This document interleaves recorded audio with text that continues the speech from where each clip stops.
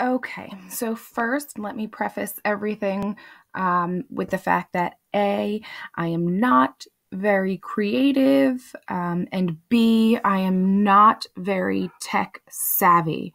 Um, but with that being said, I have put together this um, video to try to help you access scene two or act two, sorry, of the Crucible um, because I'm sure that just reading Act One was not a ton of fun and it was probably a little bit difficult to understand since we weren't in class and your classmates weren't reading parts and I wasn't there um, to kind of break down everything that was going on. So, you know, this is um, something that I'm trying out to hopefully make it a little bit more interesting for you um, and to also make it a little more clear about what is going on. Um, so I have my Crucible text right next to me. So I will be, you know, reading some things out of the text. I will be, uh, there will be things on the screen that I'll be reading to you. Um, I'll also kind of just be summarizing things that are going on. So it's kind of like we're in class and you're getting an act two crash course of the crucible. So there is going to be a lot of information, but hopefully um, the explanations that you will be getting will help to really um, facilitate your understanding as we move through Act Two.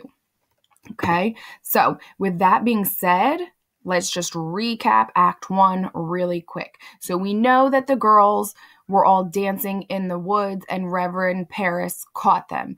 Um, Ruth and Tituba were conjuring, uh, or at least trying to.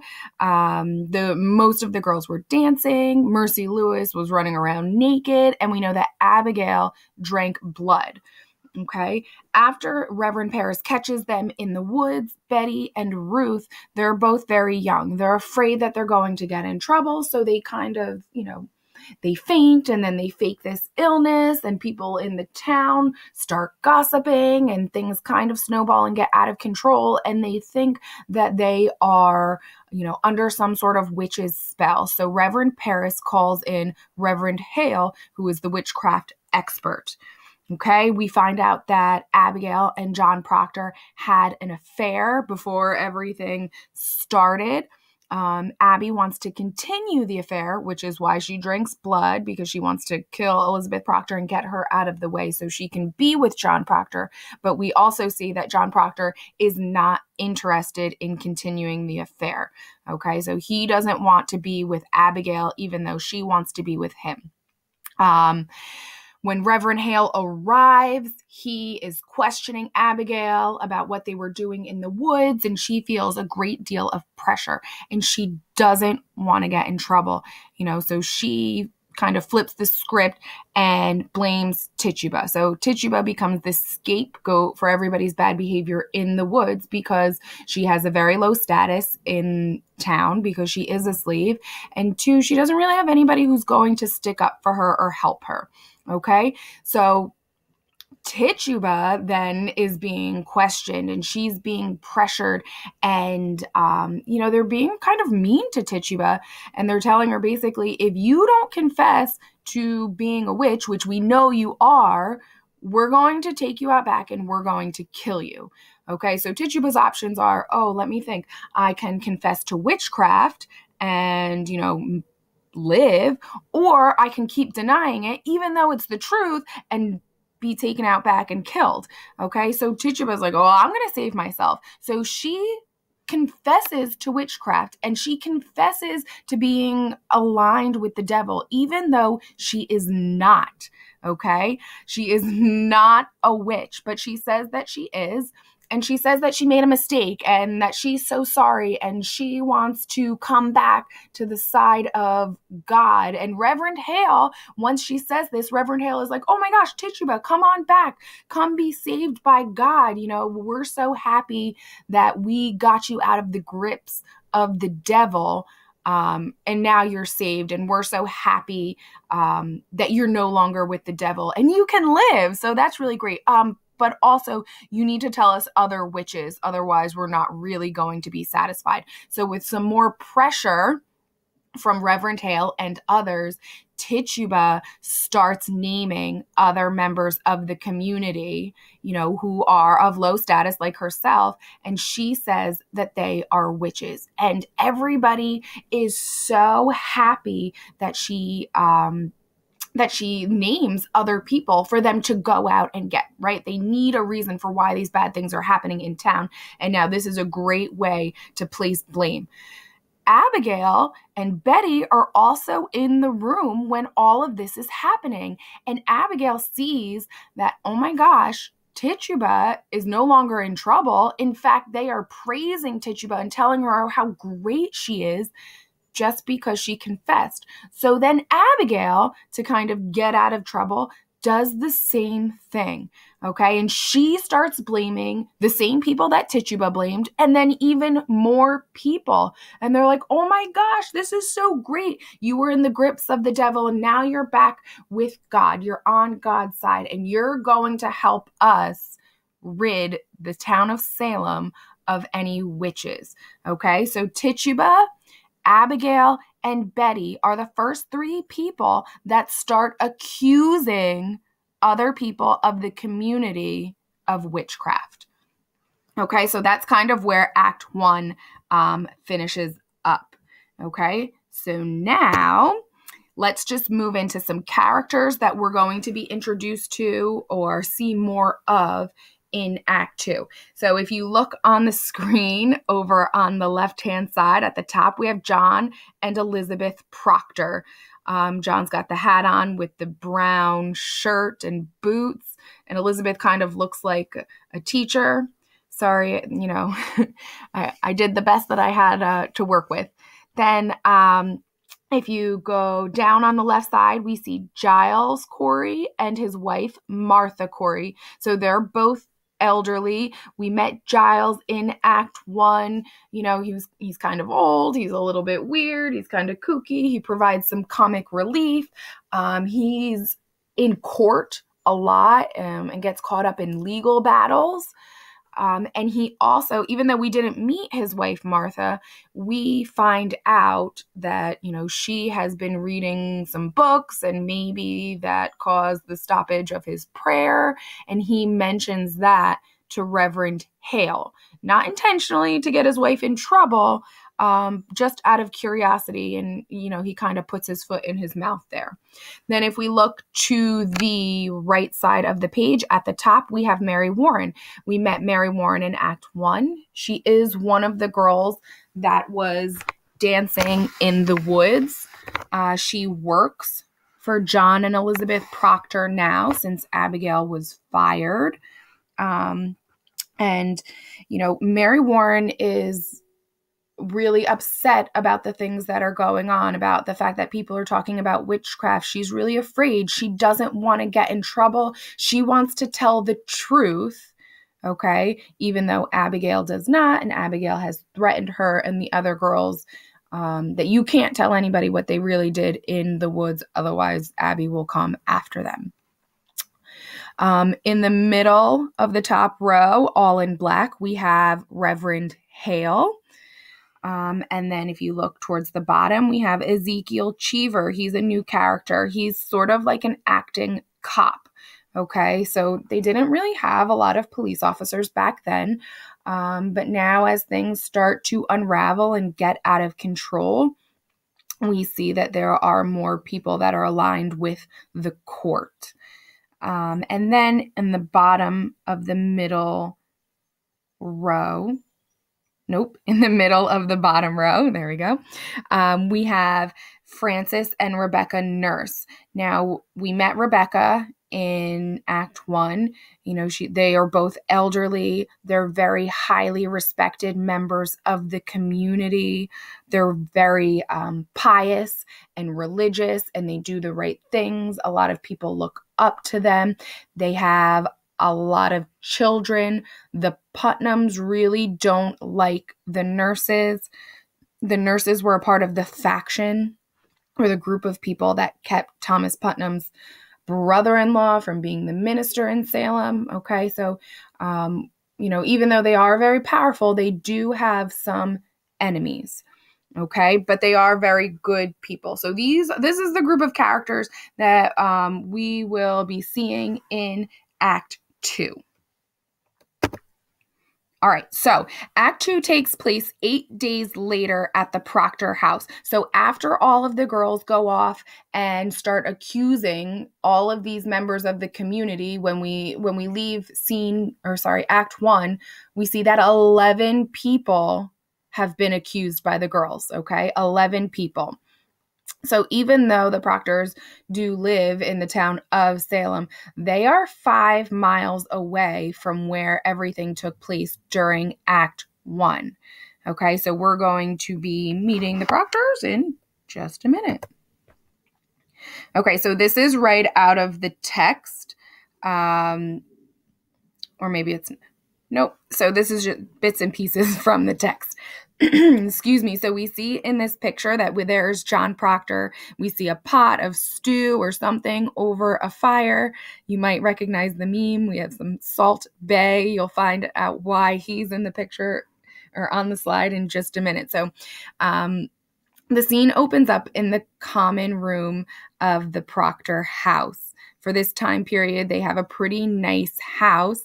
Uh, when the curtain rises, Elizabeth can be heard singing to the children. So, yes, the Proctors have children. They have three young boys.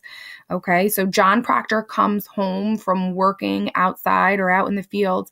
Um, he enters the house, and there's a pot, like I just mentioned and he tastes the stew and he doesn't really you know he's not satisfied with how he tastes you know eh, it's okay. So he adds some salt to it. I know it sounds silly like what adding salt to a stew why is that something that we need to mention? But it's important so we'll see that a little bit later. So after he adds the salt then elizabeth enters the room. Okay? So so they're talking back and forth. It's a little bit awkward. Elizabeth wants to know, you know, why John is coming home so late. And, you know, he says he's working, he's all the way out to the edge of the forest. Okay. So, you know, it, it's the conversation between them is just very, very awkward. It's not that of a loving couple that you might see. Um, you know, so they talk about a little bit about the weather. John asks Elizabeth how she's feeling. Okay. And then they kind of go and sit down to dinner, and John tells her that he really likes the stew and he says that it's well seasoned. Okay, well, what did we just mention in the last slide? Does he actually think that the stew tastes good and that it's well seasoned? Well, uh, not according to his actions if he just added salt. So, you know, he's saying these things that he knows is going to make Elizabeth happy, even though they're not actually true. So, he, you know, a little white lie to try to make his wife happy. And then he goes on to say that, you know, I'm trying to do things to make you happy, Elizabeth. I mean to please you. Um, so he's trying, right? We see a concerted effort from John Proctor trying to make Elizabeth happy. Okay. And, you know, she's not totally having it. You know, at one point he gets up to go and kiss her uh, to kiss her and she kind of gives him the cheek, you know, so she's not really interested in giving him a kiss or being affectionate, you know, and then John makes a comment and he says, It is winter in here yet. Now, does he actually mean it's the season winter? Well, no, he's talking about, you know, her icy demeanor and the fact that she's not overly friendly with him and she's not overly affectionate with him.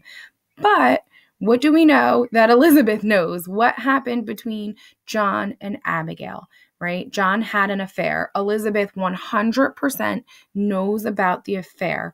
So, you know, can we really blame her for not being, you know, lovey dovey towards John Proctor? I don't know. That's up for you to decide.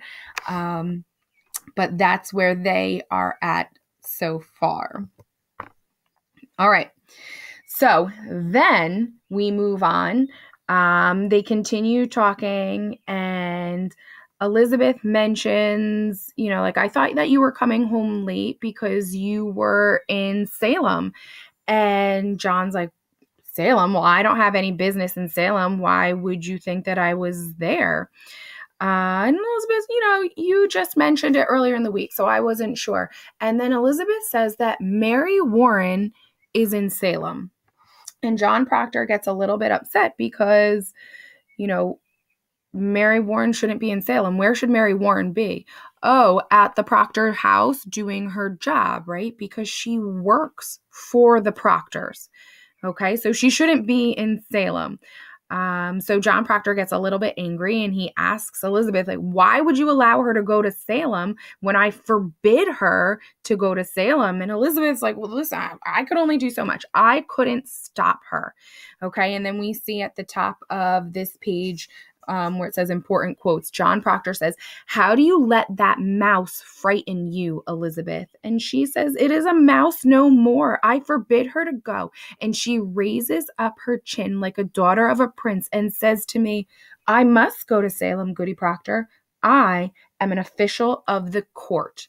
Okay, so we see that you know, kind of Mary Warren's characters changing a little bit. So John Proctor calls her a mouse.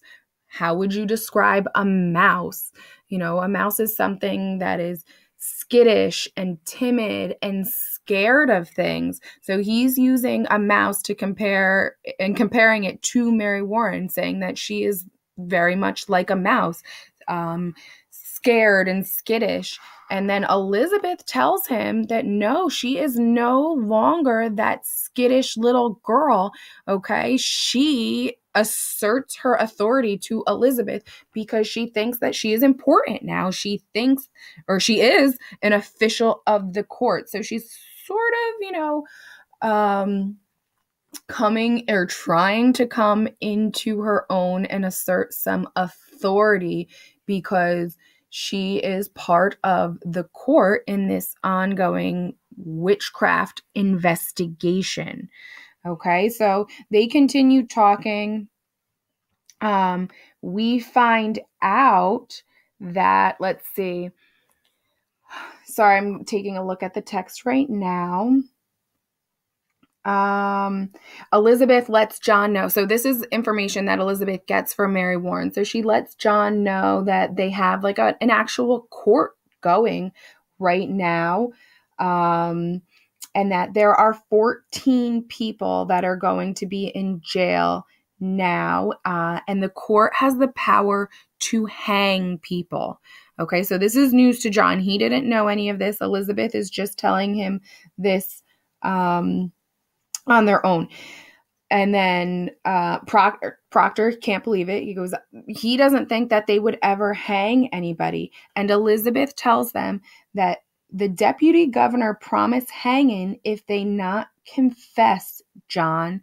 Okay, so if people are accused and they are brought to the court and they don't confess, they'll die. They will hang them.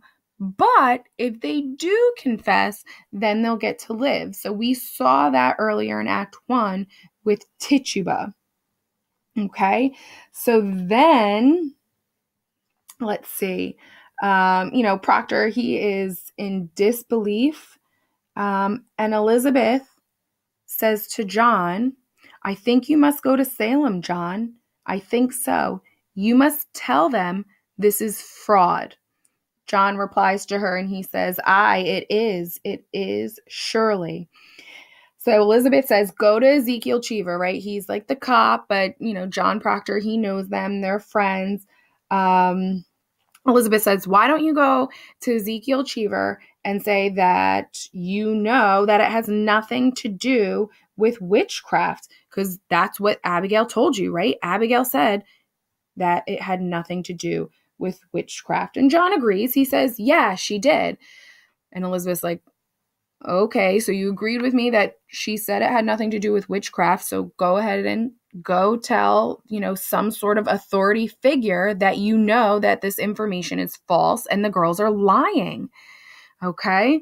Um, so Elizabeth kind of keeps pushing the issue like, John, you should go to Salem. John, you should tell um, some sort of authority that the girls are lying. And John's kind of like, yeah, yeah, I'll think about it. Mm, maybe I will a little bit later. And Elizabeth finally says, like, you should go tonight. And Proctor's like, yeah, no, I'll think about it. So Elizabeth keeps getting frustrated. Um, and Proctor is like, well, you know, I, I just, I can't do it because if I go, then it's going to be my word against hers. And, you know, she told me this information when we were alone. And he kind of just go like uh, skirts past that information. And Elizabeth's like, whoa, wait a second. You were alone with Abigail? And he's like, oh, well, what, um, yeah, but just for a minute though. And Elizabeth's like, well, then it's not like you told me. So Elizabeth kind of catches him in a lie. So if you see um, on the left hand side, right, Elizabeth asks, You were alone with her? For a moment, alone, I. Why then? It is not as you told me. Okay, so Elizabeth is kind of upset. Like, okay, so you had an affair.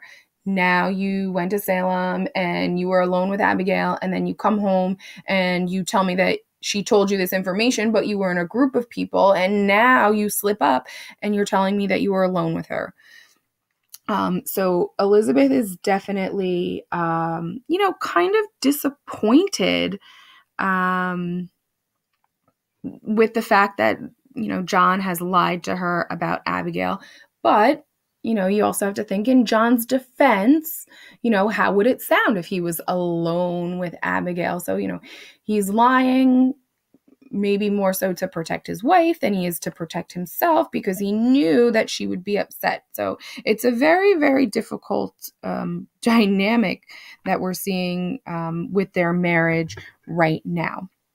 Okay, so they continue to kind of uh, go back and forth with like some biting comments, right? So after Elizabeth says that, you know, then it's not as you told me, um, we see in uh, the the text it tells us, you know, Elizabeth quietly, she suddenly has lost all faith in him.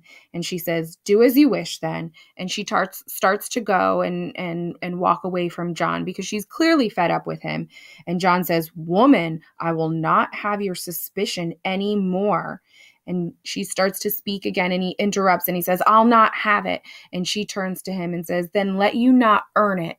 Okay. So he's saying, like, you can't be suspicious of me. I'm tired of that. And she's like, Well, if you don't want me to be suspicious, then stop being suspicious and stop acting shady and stop letting me catch you in lies. Okay. And then John says, um, sorry, he says, You doubt me. And her response is, if you look up at the top uh, right hand side of the page, she says, John, if it were not Abigail that you must go to hurt, would you falter now? I think not. And basically, Elizabeth is saying, like, if it were anybody else, you would go to town in an instant and you would tell people that the girls are lying. But because it's Abigail and because you still maybe have feelings for her or you have some sort of soft spot in your heart for her, you're hesitant to go and you don't want to go. And, you know, so John Proctor, he definitely gets angry. Um, and he says to her, Let you look at your own improvement before you judge your husband anymore. I have forgot Abigail and and as he's saying and elizabeth cuts him off and she says and i so as he's saying like i forgot all about abigail. I don't want anything to do with her elizabeth interrupts him and says well yeah you forgot about me too right? Like i'm supposed to be your wife here and you haven't done anything maybe that a husband should be doing for a wife. Um, and then we see john proctor his response um, on the right hand side of the page and he says i come into a court when i come into this house. Uh, so he's basically telling his wife you know like i feel so judged. All you do is judge me and i feel guilty about everything that i've done. And now should he feel guilty? Probably. I mean he did have an affair. But you know uh, are they trying to work through it? What exactly is going on in the marriage? So he is constantly feeling judged by his wife. Um, and we find out um, with for the affair that um, you know Elizabeth was suspicious about what was going on between John and Abigail, and she confronted John Proctor, and he confessed to everything. So Elizabeth didn't catch them. John Proctor confessed, you know, so he he kind of goes into this thing about saying, uh, you know, I confessed to you. I didn't have to do that. I didn't have to tell you the truth, but I did because, you know, like even though I did this terrible thing, I'm still a good person.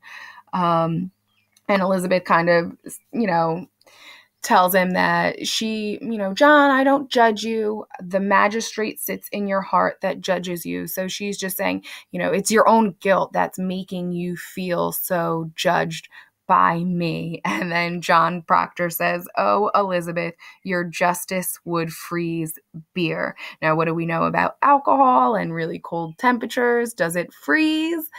No, it doesn't. So he's just saying that, you know, Elizabeth's personality and just Elizabeth in general is she is just or she has been or maybe she has always been so cold and icy um, that even you know the way she acts that could even freeze beer.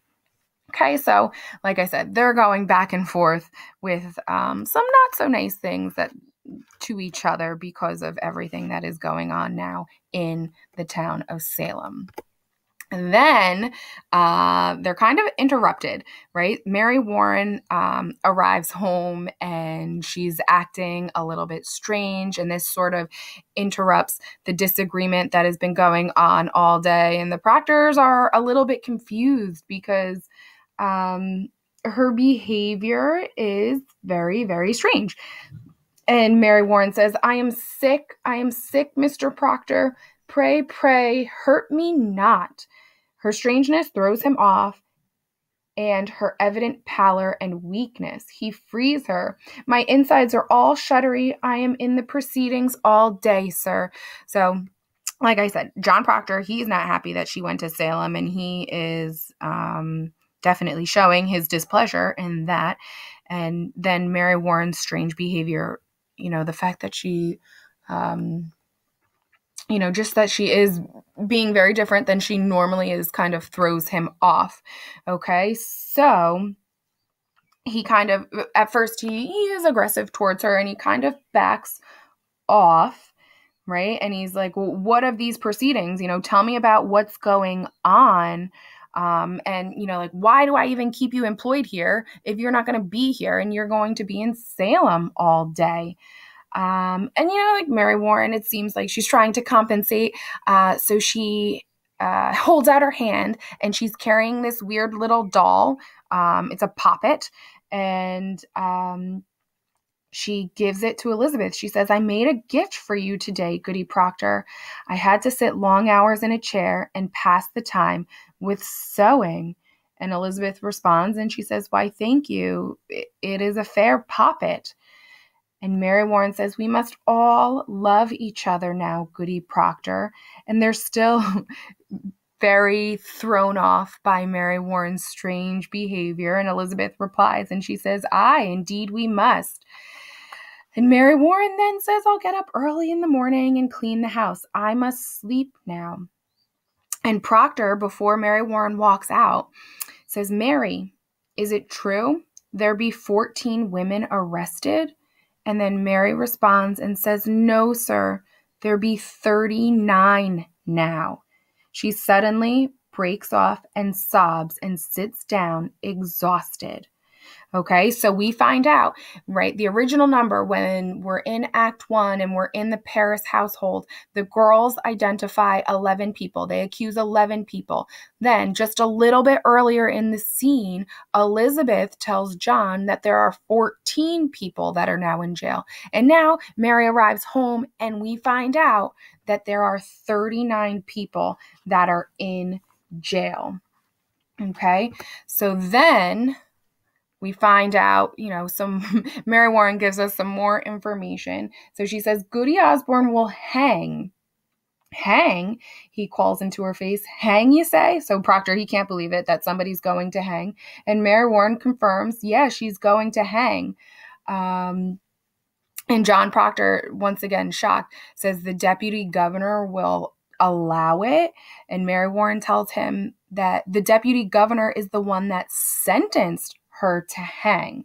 Okay, so Goody Osburn will hang, but not Sarah Good. So I hope we remember those two names from Act One. So Goody, Sarah Osburn will hang, Goody Good, she will live because Sarah Good or Goody Good, she confessed. And Proctor wants to know, confess to what? Um, and then Mary Warren's response is that she, she sometimes made a compact with Lucifer and wrote her name in his black book with her blood and bound herself to torment Christian Christians till God's throwdown. We must all worship and we must all worship hell forevermore. And Proctor can't believe it. He says, But surely you know what a jabberer she is. Did you tell them that? And Mary Warren says, Mr. Proctor, in open court, she near to choke us to death. So Mary Warren saying, Well, yeah, I do know that information, but you don't understand because when we were in court, Sarah Osburn almost choked us all to death. And Proctor asked, How? Choked you? And Mary Warren says she sent her spirit out. And Elizabeth tries to kind of talk some sense into her, and she says, Oh, Mary, Mary, surely you she tried to kill me many times, Goody Proctor. Okay, so now we're going to hear some information um, from Mary Warren about Goody Osburn and how she has, you know, at some point tried to kill Mary Warren. Okay, so this is basically Mary Warren's testimony while she was in court. So she's telling the proctors what she said in court.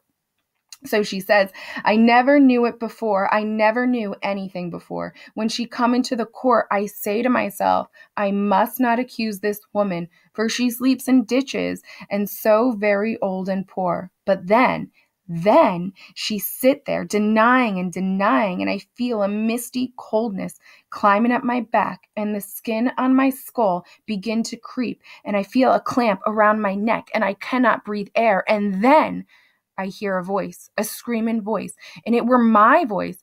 And all at once, I remember everything she'd done to me. And Proctor's like, "What? What? Are, what are you talking about? What did she do to you?" And Mary Warren says, "So many times, Mr. Proctor, she come to this very door begging bread and a cup of cider. And mark this: whenever I turned her away, empty, she mumbled." Mumbled. She may mumble if she's hungry, that's what Elizabeth says. And then Mary Warren comes back and says, But what does she mumble? You must remember, Goody Proctor.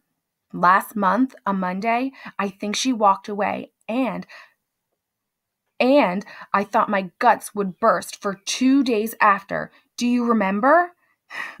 so Mary Warren is basically saying it's so obvious that Goody Osburn is a witch because since she's poor and old and homeless and she comes around to the houses and she knocks on people's door and she begs for cider and she begs for bread and food or anything that she can get her hands on and when Mary Warren tells her nope sorry you can't have any when Goody Osburn leaves she mumbles things under her breath okay? So Mary Warren is saying that when she was mumbling She's trying to put a spell on Mary Warren.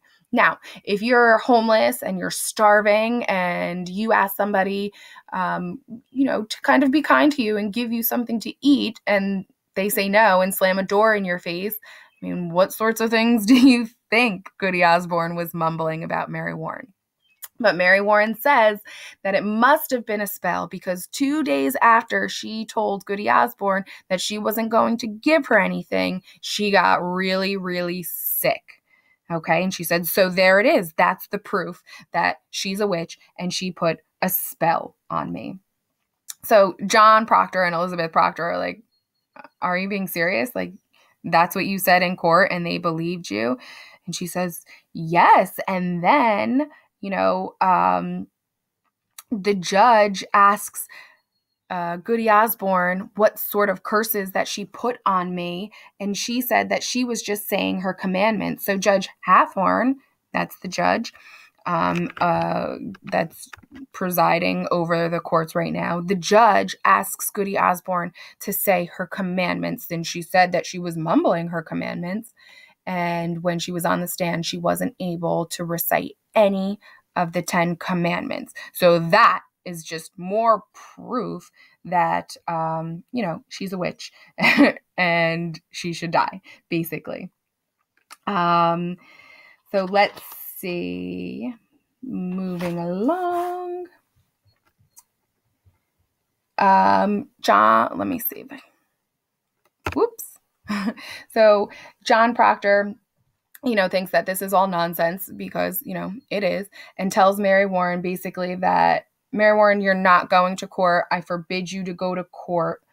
Um, and you basically you're going to stay here. And Mary Warren's like, oh, I have to go. I'm an official of the court. I can't believe that you don't see how important the work is that will that we're doing here and John Proctor's like important work. I didn't realize that, you know, basically sending old women to hang was important work. And Mary Warren says, But Mr. Proctor, they will not hang if they confess. Sarah Good will only sit in jail some time. And here's a wonder for you. Think on this Goody Good is pregnant. Okay, so we find out that one of the women that was accused, Sarah Good, is pregnant. Now, John and Elizabeth can't believe it, but one of the reasons why she won't hang, so first she confessed, and then the second reason is um, they won't hang her because they will not hurt the innocent child. Okay, so um, Christians view that, you know, unborn children are innocent, right? So if they hang Sarah Good, then they'll be killing an innocent child. So they're not going to do that. So if you're pregnant, you know, you won't die, basically, or you at least have um, the rest of your pregnancy to live uh, before you are hanged. So that is some interesting information that we find out as well. All right. So um, basically, Mary after Mary Warren tells this story, um, she tells John Proctor once again, like, I'm going to do what I want, which is going to Salem and testifying against these people and being an official of the court. She says, The devil's loose in Salem, Mr. Proctor. We must discover where he's hiding. And John Proctor is so fed up with Mary at this point, he tells her that I'll whip the devil out of you right? And he goes over to the mantle and he grabs his whip and he is about to whip Mary Warren.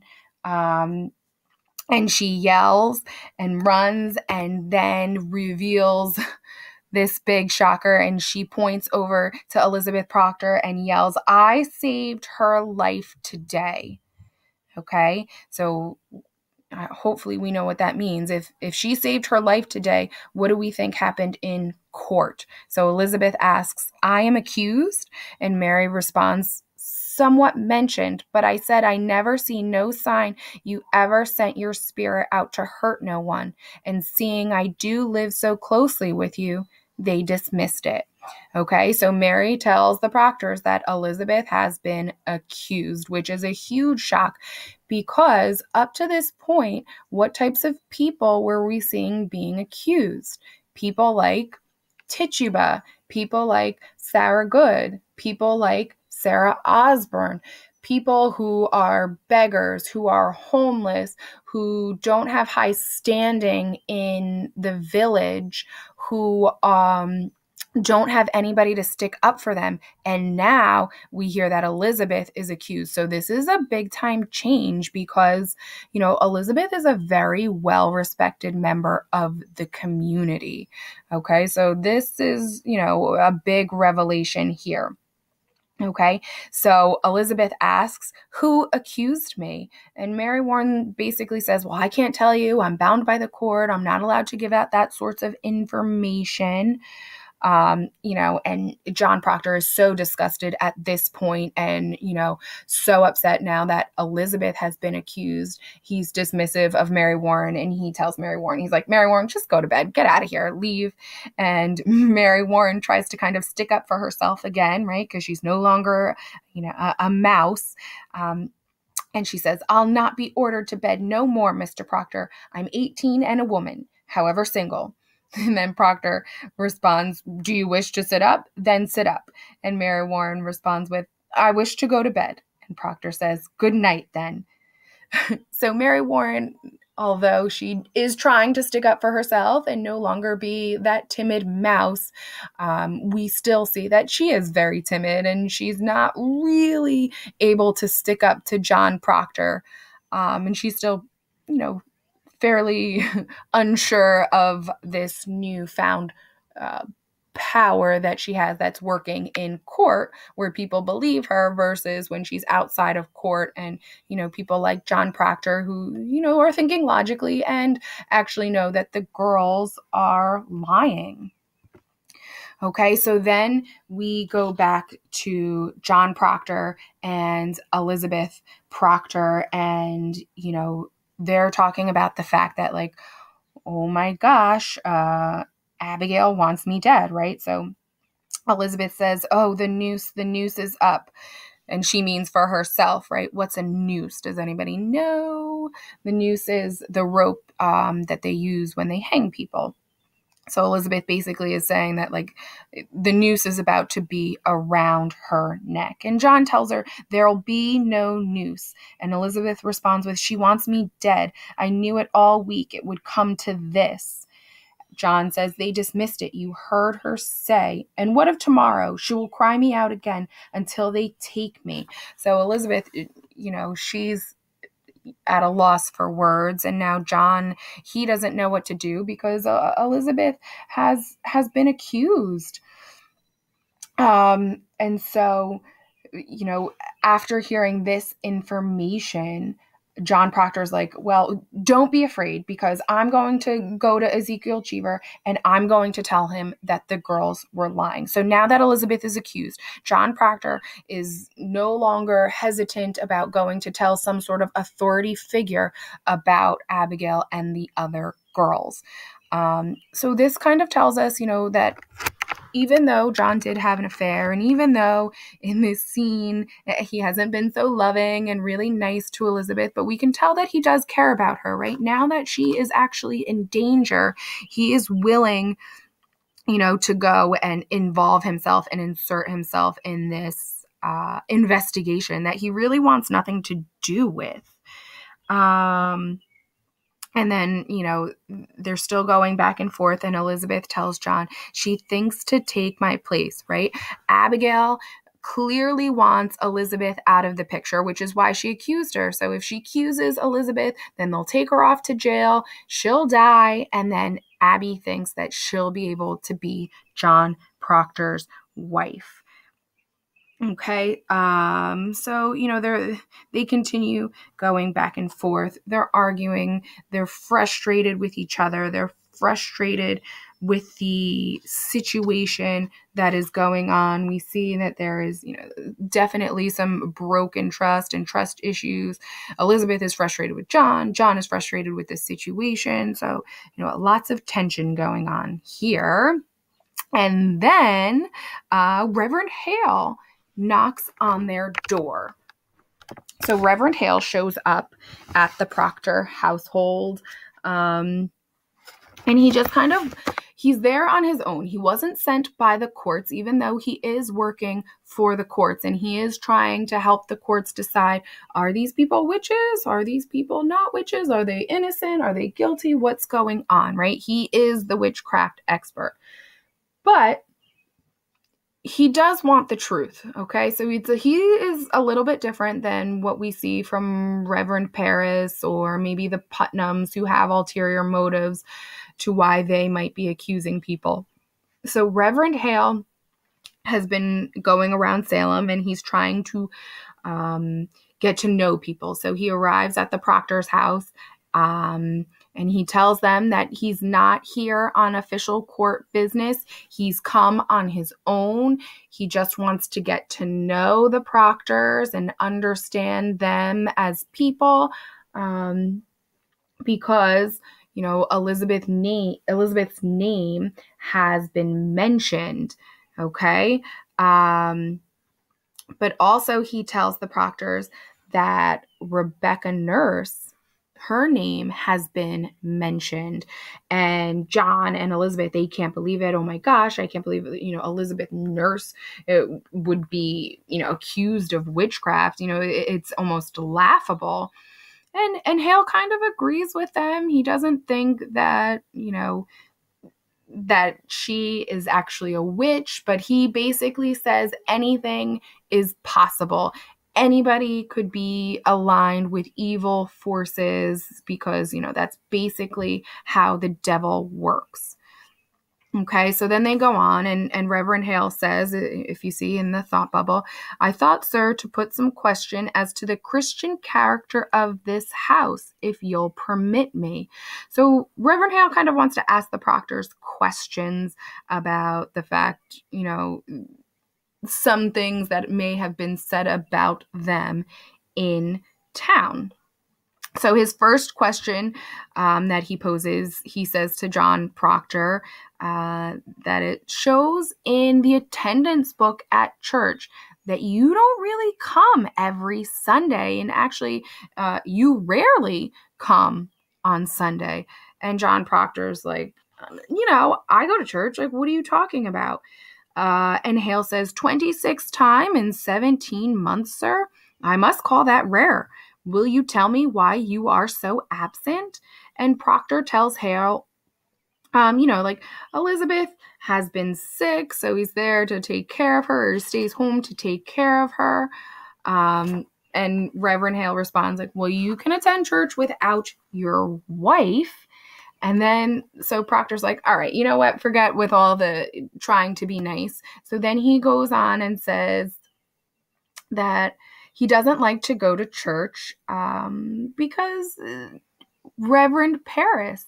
And he says, a minister may pray to God without he have golden candlesticks upon the altar.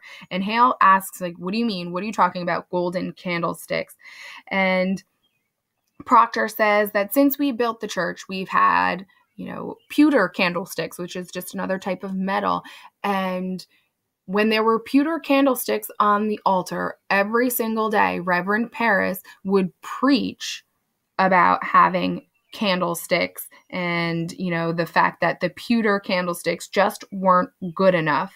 And he didn't think john proctor doesn't think that it's appropriate for a preacher to be preaching about golden candlesticks. And he says when i look to heaven and see my money glaring at his hel- elbows it hurts my prayer. Okay? Um so hale reverend hale's like okay, well, I, I guess that makes sense, but nonetheless, you should still attend church. Um, and then Reverend Hale moves his questioning on and he says, So you have three children, isn't that right?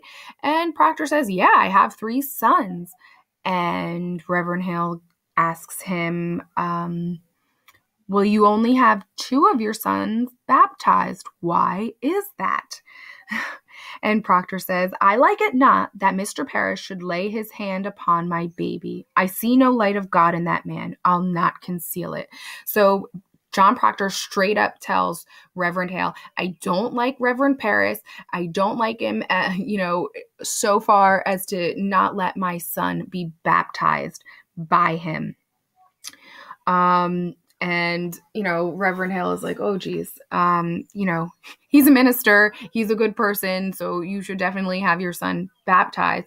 And john proctor's like what is the problem here? What are you suspecting? I nailed the roof upon the church. I hung the door. I you know i have a lot of things uh, that count for me and not just against me. And reverend hale's like oh well that is a good sign. I'm so happy to hear that. Um and then it kind of seems like Reverend Hale is ready to leave. And then he asks one more question and he says, Do you know your commandments? And they're like, Well, of course we know our, our commandments. We're good church going people. We love God. You know, we follow the Bible. We're definitely not witches. Um, and Reverend Hale's like, Great. Can you go ahead and, uh, you know, recite your commandments for me? So here is John Proctor, and he starts going through um, his commandments. Okay, so we have, oh, I missed one on here, but the first one is, Thou shalt not kill. And then he says, Thou shalt not steal, thou shalt not covet thy neighbor's good, nor make unto thee any graven image. Thou shalt not take the Lord's name in vain. Thou shalt not have Thou shalt have no other gods before me. Thou shalt remember the Sabbath day and keep it holy. Thou shalt honor thy father and mother. Thou shalt not bear false witness. And then he stops and he's thinking and he's counting on his fingers the commandments that he's already recited. And then he says, Thou shalt not make unto thee any graven image. And you see that I uh, that I wrote there that no, that's not a typo. Hopefully that sounds familiar to you because John Proctor already said that. So he says, Thou shalt not make unto thee any graven image. He says that twice. Okay, so that means he's only recited nine of the commandments. Okay. So he's sitting there and he's lost and he, you know, Reverend Hale can kind of see that he's stuck, and uh, Elizabeth can see that he's stuck. And since he can't come up with the last commandment, Elizabeth chimes in and says, Adultery, John. Okay, so um, hmm, it, do we know what adultery is? So, adultery is the act of cheating. So, the, last commandment, the single commandment that John Proctor couldn't remember, adultery, that you should not commit adultery, that is the commandment that John Proctor broke. Okay, so uh, as he's reciting his commandments, you know, his wife is like, Are you serious? Uh, like, adultery the one that you committed you that's the one that you forget uh, you know so that that's why i have that nice little uh, thought bubble of the uh, irony of the situation. Okay. So, you know, John is obviously super embarrassed. Um, Reverend Hale has no idea about the affair. Okay, so after Elizabeth is like, irony, John, John tells him, you know, oh, see, between the both of us, we know our commandments. So, you know, we're real, real good Christians here. And, you know, Hale's a little bit like, eh, okay, well, um, you know, you should still know your Ten Commandments. So he's not like wholly satisfied uh, with the fact that, John struggled to name all of his commandments. Um, but, you know, Reverend Hale is like, all right, well, I, I'm going to get ready to go. And Elizabeth says to John in front of Reverend Hale, I think you must tell him, John. You know, so of course, Reverend Hale's like, tell me what? And John Proctor is now obviously going to be annoyed um, with Elizabeth because she kind of, you know, put him in a situation where he doesn't want to say anything. And now he kind of has to. He's obligated because Reverend Hale is there and asking. Um, so Proctor kind of says hesitantly he says i i have no witness and cannot prove it except my word be taken but i know the children's sickness had not to do with witchcraft. And Hale can't believe it. And, you know, he kind of like stops in, in his tracks and not to do with witchcraft. And Proctor says Mr. Parris discovered them sporting in the woods. They were startled and took sick. And Reverend Hale, ah, who told you this? And Proctor tells him that Abigail Williams. And once again, Hale is in disbelief and he he can't understand why Abigail would tell him that it had nothing to do with witchcraft. And, you know, Hale says, When did you when did she tell you about this? And Proctor says, you know, the day that we were all at Reverend Parris's house. And Hale, you know, can't understand like why John would keep this information for so long, you know, but once again, John had no idea that these things had gotten out of control right? And then Reverend Hale says it's nonsense. Mister, I have examined Tituba, Sarah Good, and numerous others that have confessed to dealing with the devil. They have confessed it. So that's what Reverend Hale says, okay? So obviously, his train of thought is, you know, they must be witches because they confessed to it. Now, Proctor, on the other hand, comes back with, if you see over on the left hand side of the page, he says, And why not? If they must hang for denying it, there are them that will swear to anything before they'll hang. Have you never thought of that? Okay. And then Hale's like, Well, well, yeah, I, I sort of have thought about it, but, you know, I, I still think that they're witches. Okay. So, John Proctor, you know, plants this seed that you know, obviously people are going to say that they're witches. They're going to confess that they're witches if the alternative is you're going to die, you know. So Reverend Hale, um, he's not wholly satisfied now with his visit to the Proctors. And then Hale brings up something that was said about the Proctors and he says, Proctor, let you open with me now, for I have a rumor that troubles me. It's said you hold no belief that there may even be witches in the world. Is that true, sir? And Proctor uh, hesitates for a minute because he wants to think this through. He knows this is a very weighted question, um, and his answer is going to have, you know, repercussions one way or another. And John Proctor says, I know not what I have said. I may have said it. I have wondered if there be witches in the world, although I cannot believe they come among us now.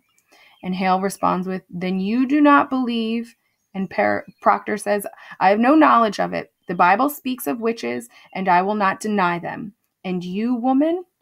So Hale asking Elizabeth, and she says, I I cannot believe it.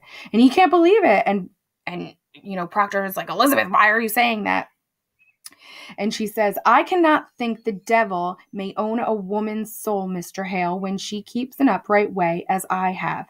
I am a good woman. I know it. And if you believe I may do only good work in the world and yet be secretly bound to Satan, then I must tell you, sir, I do not believe it. So this is like big a big big no-no for Elizabeth to be saying because you know how do these people live right? They live by the bible. So anything that's in the bible it must be true. And the bible says that there are witches. And now Elizabeth is saying well even if the bible says there are witches if you think I'm a witch you know then I just can't believe it because that is bananas to me. So she basically says she doesn't believe in witches. And then if you look over another quote, she says, If you think that I am one, I say there are none.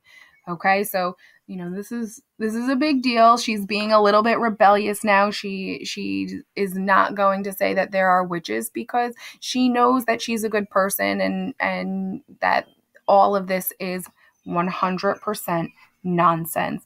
And Hale is, you know, now starting to get a little bit worried about the Proctor household and the fact that they are kind of being uh, rebellious to the fact of um, the fact that the Bible mentions witches and they're denying it. During this conversation, then we hear a knock at the door. So uh, Giles Corey and Francis Nurse come knocking at the door of the Proctor household.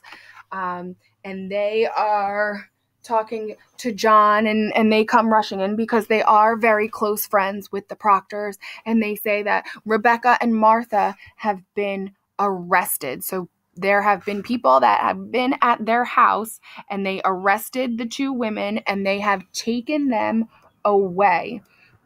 Okay, so Elizabeth, they can't, she can't believe it.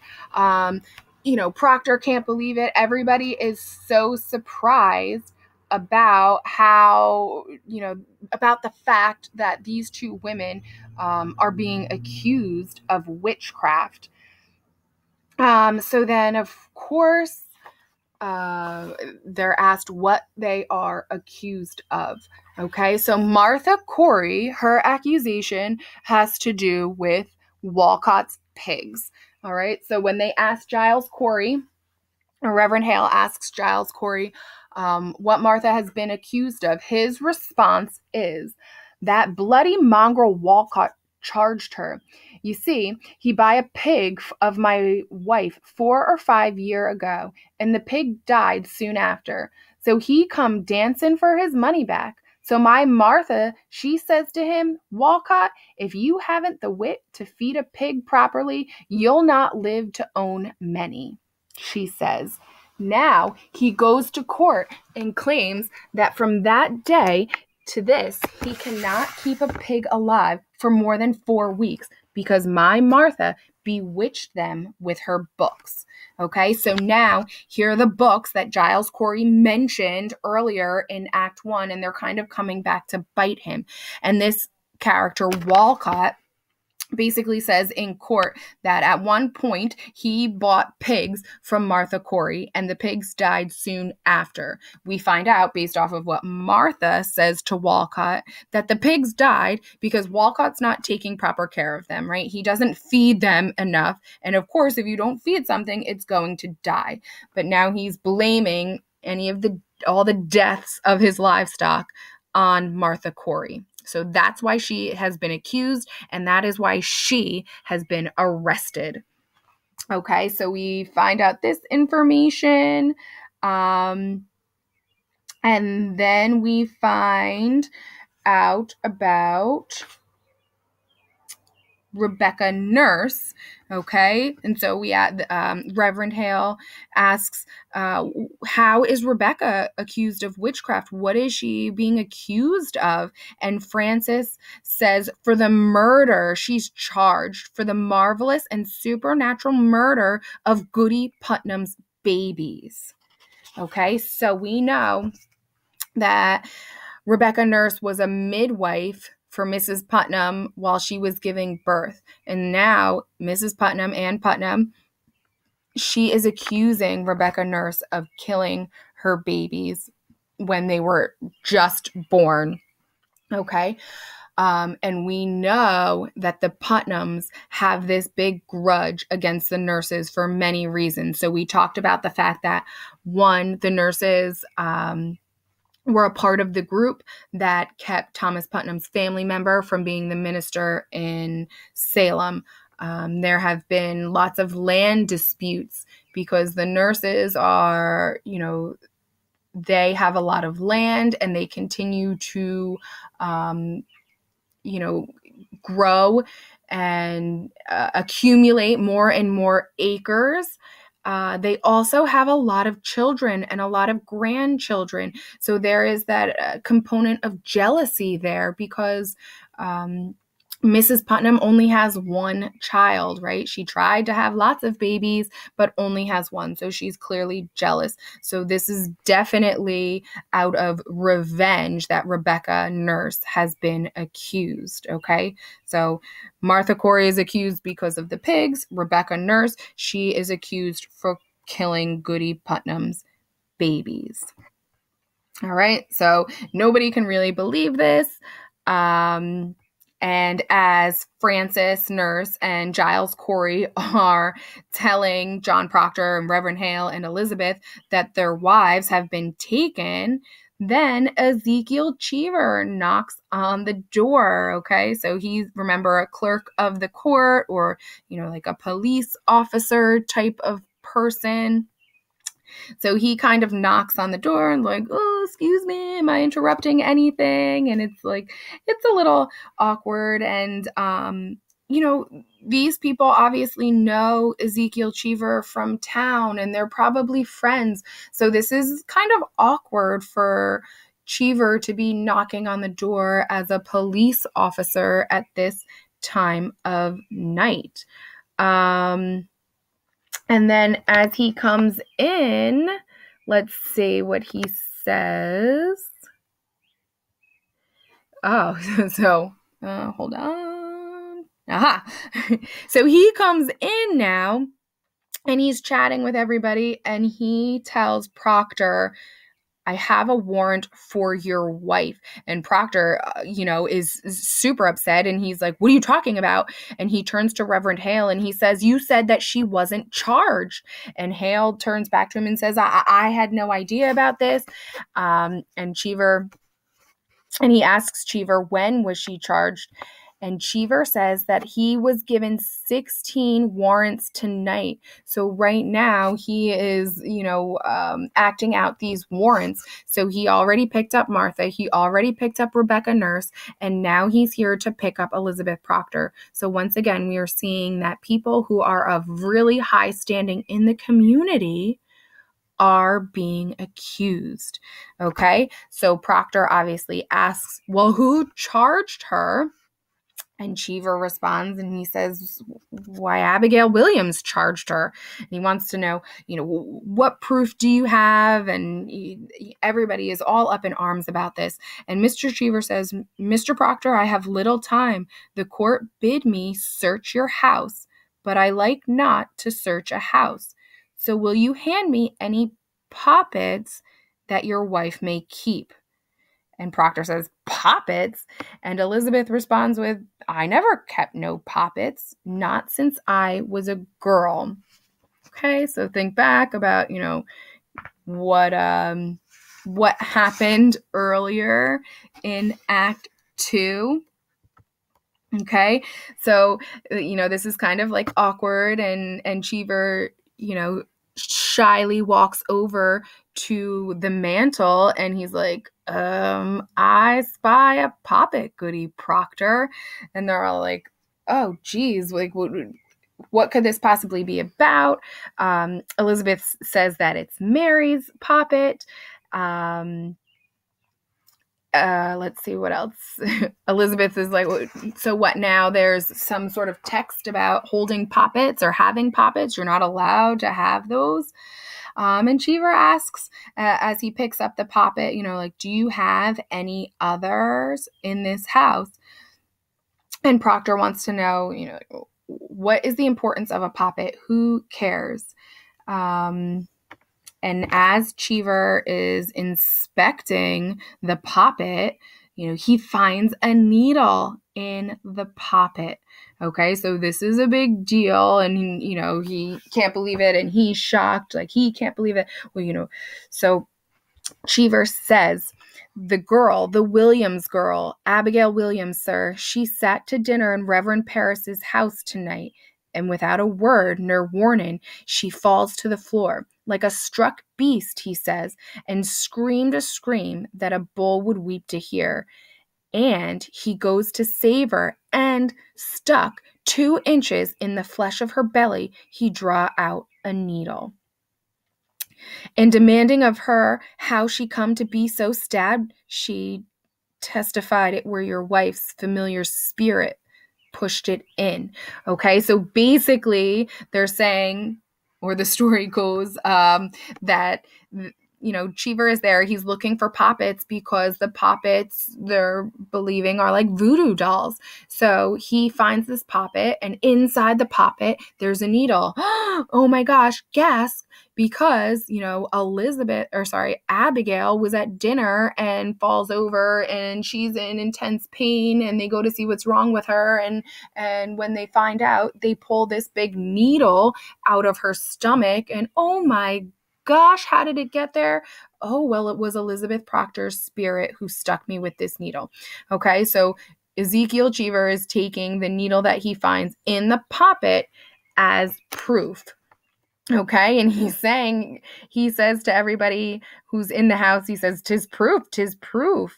I find here a poppet Goody Proctor keeps. I have found it, sir, and in the belly of the poppet a needle stuck. I tell you true, Proctor, I never warranted to see such proof of hell, and I bid you obstruct me not. Okay, so he, Cheever is taking this as hard proof. You know, Proctor's rolling his eyes, um, and when this was going on, as he was examining the the poppet, um, Elizabeth had left the room to go and get Mary Warren. So now Mary Warren enters the room, and John Proctor is like, Mary, you need to tell Ezekiel Cheever exactly where that poppet came from. Um, and you know ezekiel cheever is like do you know this poppet and she's like uh, what poppet is that oh um, well i think it's mine Okay, and and then Mary Warren tells us that she didn't mean any harm by the poppet. You know, she was in church for a really long time and she wanted to pass the time and not be so bored, basically.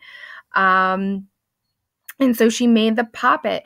So, you know, she she tells everybody who's there that the poppet belongs to her. Okay? So then Reverend Hale chimes in and he says, "Child, you are certain this be your natural memory?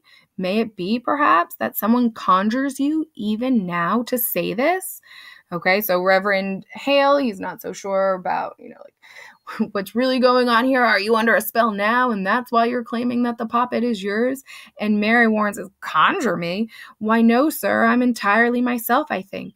Let you ask Susanna Walcott. She saw me sewing it in court. Or better still, ask Abby. Abby sat beside me when I made it. So when she was in the courtroom and she was sewing the poppet, Abigail's sitting right next to her. So Abigail knows about the poppet. Abigail knows that Mary Warren was making it. And if any of you have ever, excuse me, taken some sort of sewing class in your life, you know, sometimes when you're sewing things and you're done or you need to finish it, but you're done for the time being, you stick the needle into the garment or whatever you are making, you know, kind of as just like to hold on to the needle so you don't lose it. So, do we think that Abigail probably saw that happen? Or do we think that Mary is trying to, you know, kind of get Elizabeth Proctor in trouble. That's something that you have to decide for yourself. But based off of what we know of Mary Warren, is she really trying to hurt the Proctors? That's something that you um, will have to think about. And Elizabeth, after hearing this, she screams out and says, Why, the girl is murder. She must be ripped out of the world. Oh, there it is. and and then Cheever goes, "Whoa! Did you hear what she said? Ripped out of the world. That means you want her dead. Okay, so th- that's proof even more that you would want to, to to stab her with the needle." And John Proctor's like, "You guys all need to get out of here. My wife's not going anywhere. Get out." Okay, um, and you know, Cheever's like, but I have this warrant. I need to to take your wife with me, and um Proctor takes the warrant and he starts to rip up the warrant. And Cheever says, You ripped the deputy governor, governor's warrant, man. Like he can't believe it. You know, this is lawlessness that's going on in the house. And, and Proctor, he's still not interested in letting Elizabeth go. And Hale's trying to, to calm uh, John Proctor down and he's saying, Proctor, if she's innocent, the court, you know, the court will set her free. And, and Proctor's like, if she is innocent. So he starts going on this rant like, what do you mean if she's innocent? Why do you never wonder if Parris be innocent or Abigail? Is the accuser always holy now? We or were they born this morning as clean as God's fingers? I'll tell you what's walking in Salem. Vengeance is walking Salem. We are what we always were in Salem, but now the little crazy children are jangling the keys of the kingdom, and common vengeance writes the laws. This warrants vengeance. I'll not give my wife to vengeance. Okay, so he's super upset. He's saying that, you know, there's no proof to anything that any of these people are saying that he can't believe that there's warrants out for these people's arrest. The only reason that there are warrants is because people are being vengeful. They're seeking revenge on people they think that have wronged them. Everybody is exactly the same as they were before all of this started and now it's just the wrong people have the power Okay, so that's what John Proctor is saying. And Elizabeth is like, oh, I can't handle this anymore. You know what? I'll go, John. I'll go. And as they're walking out, Proctor says to, to Reverend Hale, Will you see her taken? And Hale, you know, says, Proctor, the court is just. So he he's you know, still uh, siding with the court. He thinks that what the court is doing is right. And the fact that by going to trial and putting these people on the stand and letting people testify and letting people, you know, say their piece about things, that like the truth will basically set them free. Okay. And then Proctor says, Pontius Pilate, God will not let you wash your hands of this. Um, and hopefully you see that the, this is an allusion. Do we remember what an allusion is? Oh, I hope so. Um, an allusion is when there is a reference within a text to another text or some sort of historical story. So Pontius Pilate is an allusion or a reference to the Bible.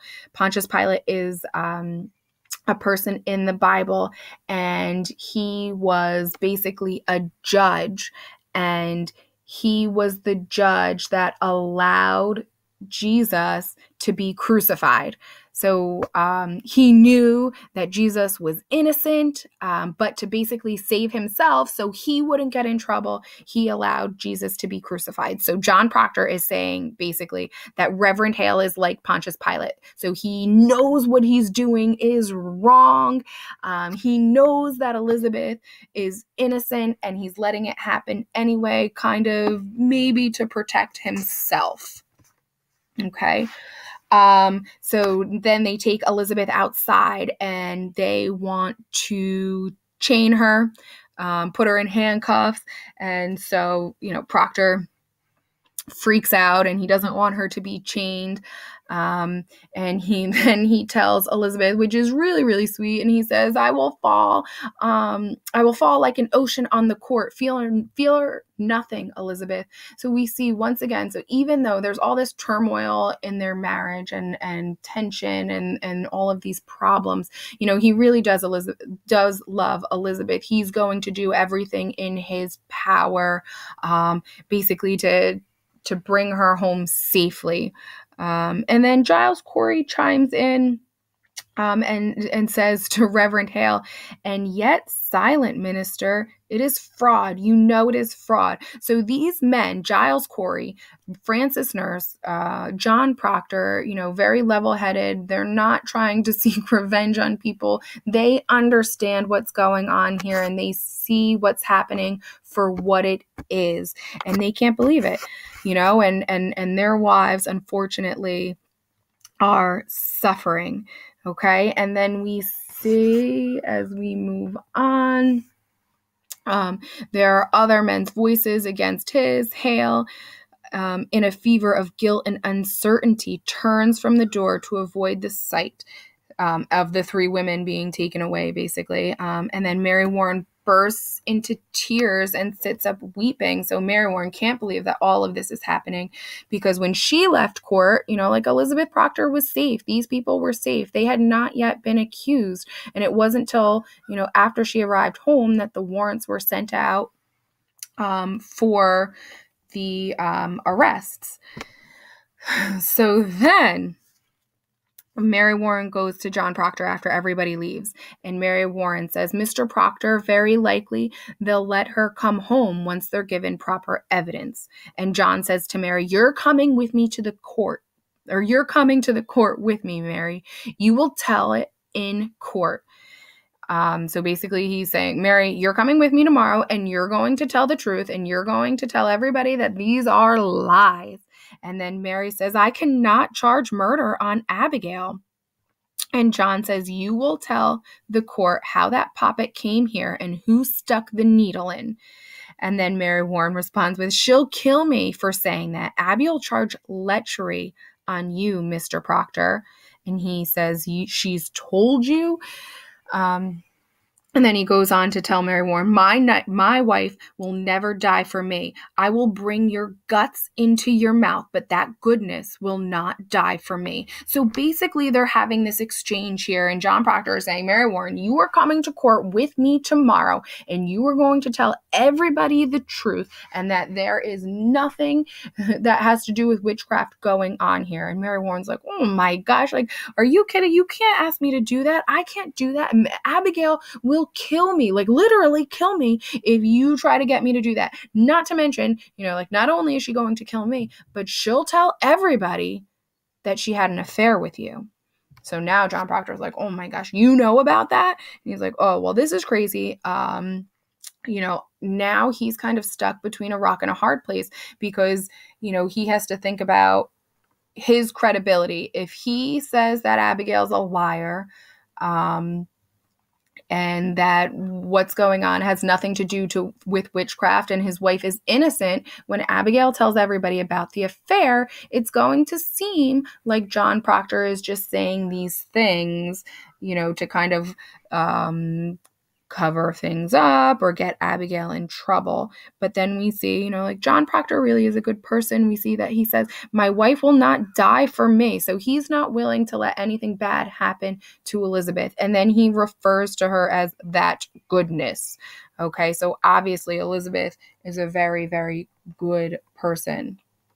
Um, and then lastly, we see this big internal struggle now with John. And he has like a little monologue at the end. And he says, Now hell and heaven grapple on our backs, and all our old pretense is ripped away. Make your peace. Peace. It is a providence and no great change. We are only what we are, were always were, but now or but naked now.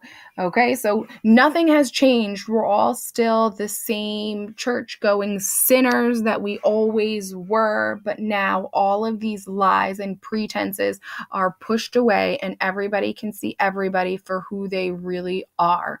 Okay, so you know, that's a little bit of foreshadowing about what's to come, right? Think about all the lies and the things that people are hiding, and now things are going to be ripped away and everybody will be exposed. Okay? And there it is. I know it was long, but hopefully it was better than just having to read it on your own.